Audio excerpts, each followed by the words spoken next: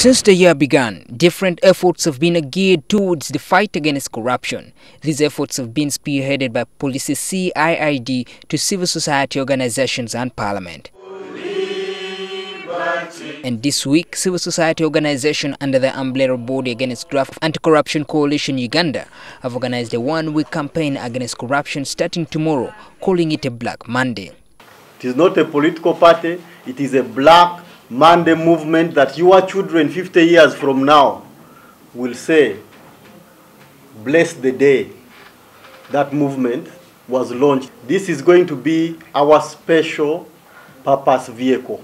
The group is appealing to the president to take action against those that have been cited in instances of corruption. As a fountain of honor to expose and punish all the thieves that have been implicated in robbing the country's public resources.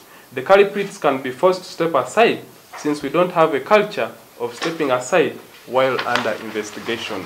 But we don't seem to see serious action taken against those involved. That is our concern.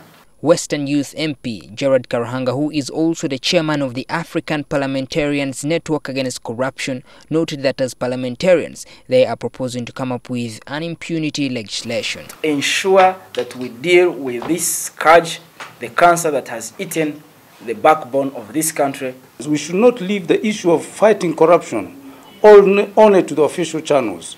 We Ugandans must rise up like they do in countries like Singapore and fight corruption right from the villages. It is incumbent upon any organ, any appropriate body to pursue up to the positive conclusion to all those engaged in corruption. Tomorrow, we'll see most of the civil society organizations converge to pave way for a week-long public sensitization drive on graft.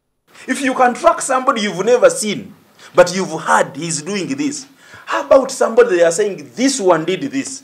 Why do you keep quiet about him?